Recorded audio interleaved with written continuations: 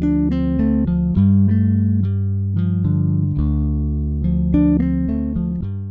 everyone, this is Sharmin Khan from Milky Way Art Design. Welcome to my garage. Today I have this 8 inch by 24 inch canvas and I am thinking of doing another Dutch pour with bloom recipe. Uh, last time when I did that I felt like of course Dutch pour the paints are lighter uh, when you mix them but with all these chemicals and base bases um, the the bloom uh, recipe or the bloom mixes are a little bit thicker. Therefore it's very difficult to, for them to free flow when you blow them. So that's my hardest challenge I faced. Also one more thing. When you are doing Dutch pour you don't spin them or you don't spread them. Whatever you have um, like whatever your blow dryer did on your blow on your Dutch pour that's it. And then you can modify or readjust here and there a little. With bloom if you do not spin or spread there is a huge chance of getting all the cracks so what I am doing first of all I am spreading my base coat as thin as possible because otherwise if I have thicker base and I did Dutch pour I cannot spin and I will get bunch of cracks and creases. So that's my first goal when I layer my base coat making sure that I have very thin layer.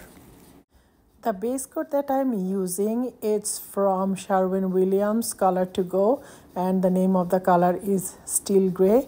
Um, I find that Sherwin-Williams Color to Goes are a little bit thinner than other base coats so I hope it will help me as far as uh, spreading it thin goes and oh I see this little lumps so I have to clean up the lump and the corners and then we will start layering our paints. Usually when I edit my video I kind of fast forward or cut some of these uh, prep before I start so what happens is when you guys try what I'm doing and you will not get the same results because you are thinking oh it's it goes really fast so on this one I intentionally am uh, keeping all the uh, real footage and I'm not going to fast forward. If you want to see uh, fast forward you can always do it on the video.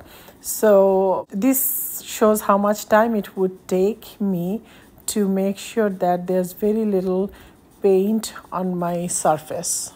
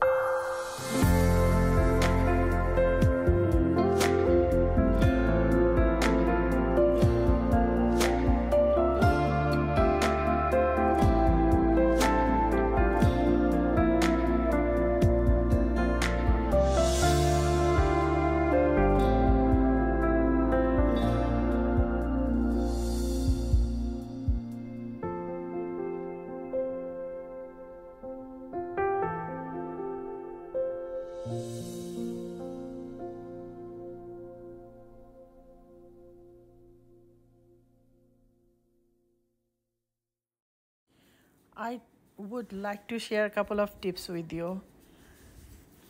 When you do this, make sure you have a napkin or a paper towel in your other hand and in between every stroke, you wipe your skewer. Otherwise, you are going to cross contaminate your paints so you don't want to mix your paints one with the other one every time you put uh, or draw a uh, stroke on your uh, modifications so that's very important. The second one is when you modify don't push your skewer all the way to the canvas every single time because then when it dries sometimes it looks like that they are spreading out and the lines in between the designs gets thicker so um, make sure that your skewer doesn't go all the way to the um, canvas. Little try to keep it as light like don't push it too hard. Basically that's what i'm trying to say. I don't know how to explain it. Now let me clean up all the corners and the sides. After that I will put it away for drying. And also I need to show you up close. It's so beautiful. I'm actually very happy with this piece